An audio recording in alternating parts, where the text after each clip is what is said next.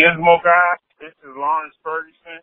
I had called you yesterday about the FM transmitter that I got from you, and I'm gonna tell you something. I've had a lot of FM transmitters over the years, and this is by by far the best I've ever seen, best I've ever used. It is so worth the money and the two weeks it took to get it.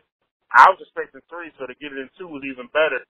So um, I just want to say thank you. You got a fabulous product, and have a good day.